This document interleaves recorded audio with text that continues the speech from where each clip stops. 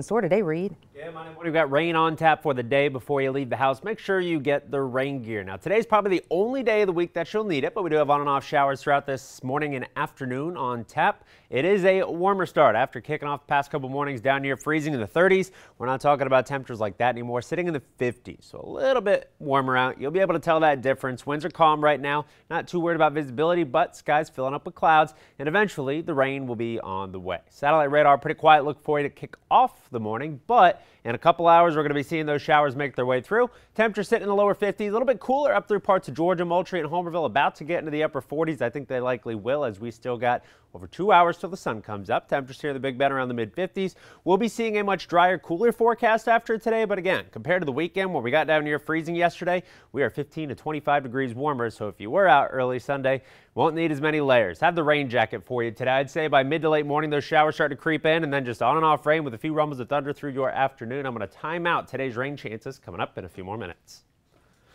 Thank you, Reed. A grim milestone is expected